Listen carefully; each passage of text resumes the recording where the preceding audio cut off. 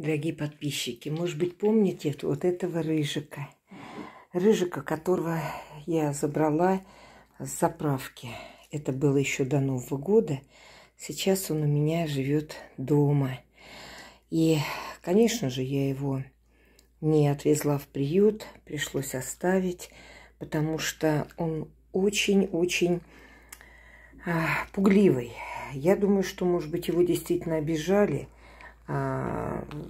потому что, когда я накладываю еду ему, вот, он к ней не притрагивается даже. Он просто подходит, понюхает и отойдет. И смотрит, не, нету ли кого поблизости. Представляете, даже до какой степени? Вот, когда я ухожу из кухни, он, вот сейчас вот он покушал мисочку, все это, да, он смотрит, не просто вот действительно смотрит, как бы у него не отняли это. Ну, что ж теперь? Рыжик, мой рыжик. Рыжик мой самый красивый мальчик. Я даже не слышал, как он тявкает. Я даже ни разу не слышал, чтобы он тявкнул. Он теперь мой малыш. Да?